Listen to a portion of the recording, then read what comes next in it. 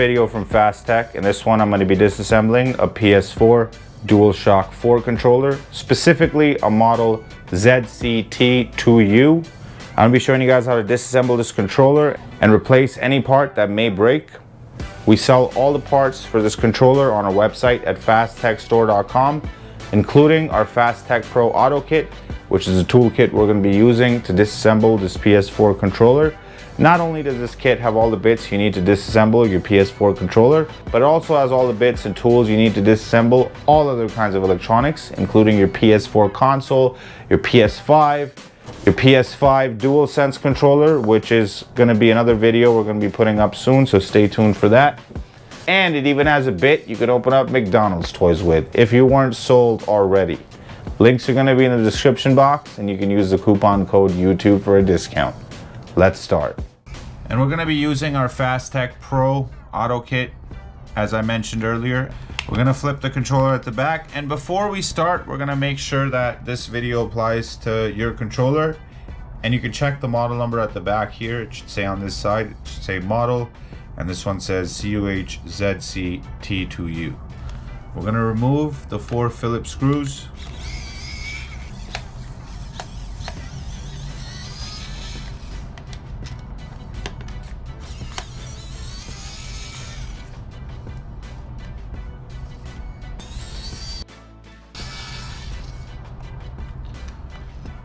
Once we have those Phillips screws removed, we're gonna separate the front of the controller from the back.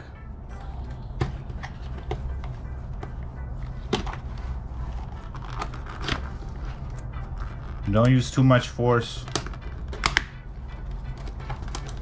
just the right amount.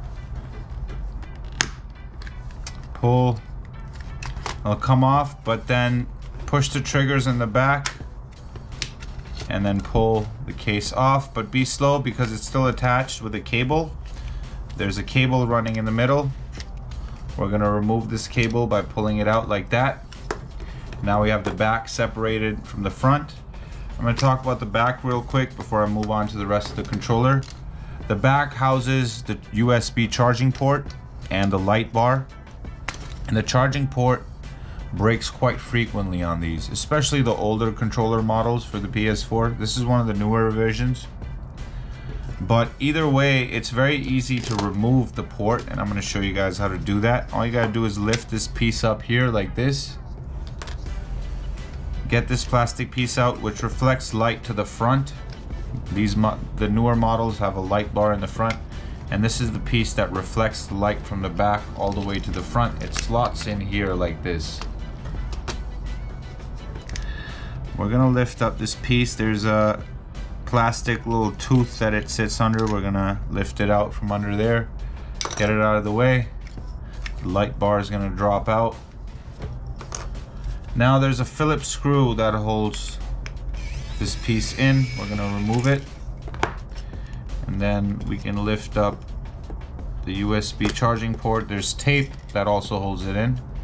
But that's the USB charging port that breaks quite frequently, but luckily it's modular, so it can be easily replaced. And we sell these on our website at fasttechstore.com.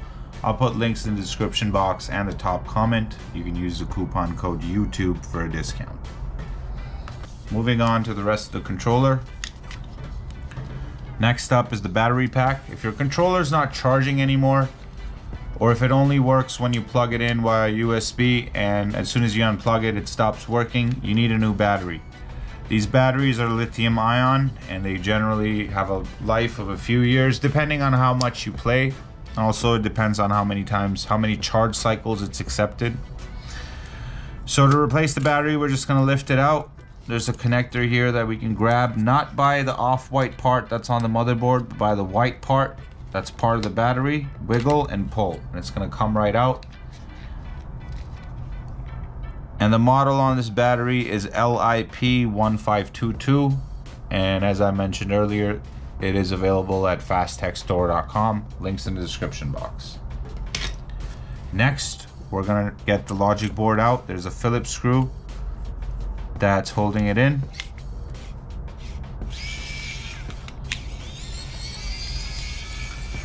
Get that out of the way. And now we're gonna remove the battery holster. There's also a plastic piece that presses the reset button. A lot of people don't know that all PlayStation controllers, well PS4, PS3, and PS5 as well, have a reset button in the back where you can stick a toothpick or one of those iPhone opening pins in here. Push it down and what it does is it presses this button that resets the controller but you have to hold it for I believe at least 10 seconds. Don't quote me on that but I think it's about 10 seconds. I'm not 100% sure. But if you have any settings related issues that will reset the controller. Then we're going to remove this cable here pull it out. This is for the touch bar in the front we're to push it through this slot because at this point we're to be lifting the logic board out and we can push the analog sticks in from the front and the logic board is going to come out. There's some wires that hold it in. If you're just doing an analog stick replacement you can just pull them off at this point and replace your analog sticks I would personally install Xbox Elite style analog sticks on these. If it was my controller like I have in a previous video. And that way I have customized analog sticks. And I did do a video on this where we did this on an older model PS4 controller. But that's how you would do it on one of these newer ones. But I'm going to continue with the disassembly for now. For this part, we're gonna need a soldering iron because we're gonna be removing these wires. You don't necessarily have to remove these. These are wires for the motors, but for the sake of this video, I'm gonna be showing you guys how to do this. If you're not comfortable with soldering, you could skip this part and if you're trying to get to the buttons, you are able to do that. So just a quick disclaimer before I proceed. for this part, we're gonna use a soldering iron. I recommend a Hakko FX951 or even a Weller like this one. These work really well. Links in the description box for those as well.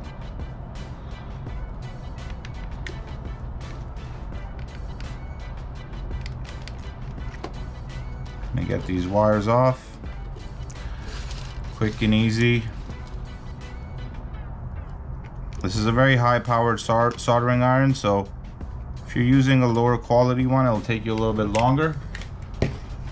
But obviously, we're motherfucking professionals over here, so we're not gonna be we're not gonna be using no rookie soldering iron. At this point, the logic board is gonna come out. This is what a PS4 DualShock 4 logic board controller from a model ZCT2U looks like and this is one of the last PS4 controller revisions.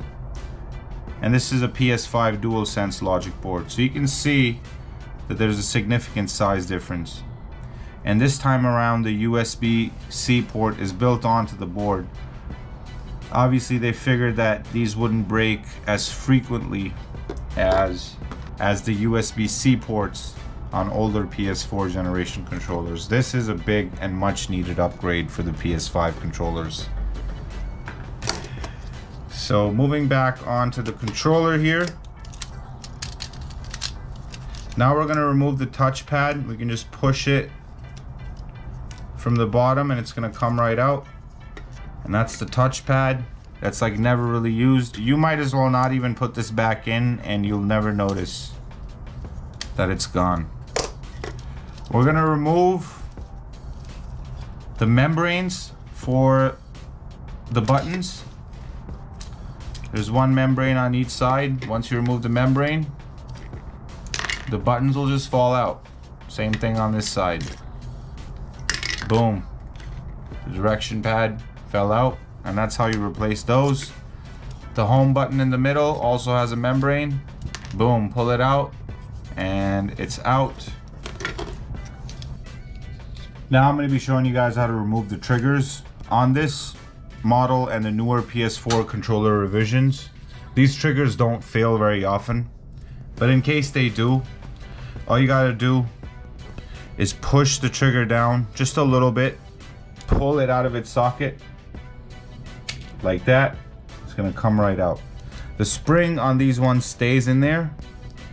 All right, you could take it out if you want to, just by pulling it out, pushing it down sideways. Same thing with the L2, just push it down a little bit and pull it out of its socket like that. It's gonna come off and at the bottom it goes over this hook here. L1, R1 are just gonna come out. Very, very easy. You just pull them out like that, out like that. And at this point, we've fully disassembled the controller down to the motherboard. Another video from Fast Tech. To show your support, please subscribe to our channel and click the bell next to the subscribe button so you don't miss another video from Fast Tech. And smash the like button to show your appreciation and to let YouTube know that we're doing the right thing. It helps us out more than you think. Also, check out my vlog channel in which I travel the world and I record my adventures. Link for that is also going to be in the description box. And don't forget guys, all the tools and parts that you saw in this video are available at fasttechstore.com. This is Shehroz from Fast Tech signing out, and I'll see you in the next one.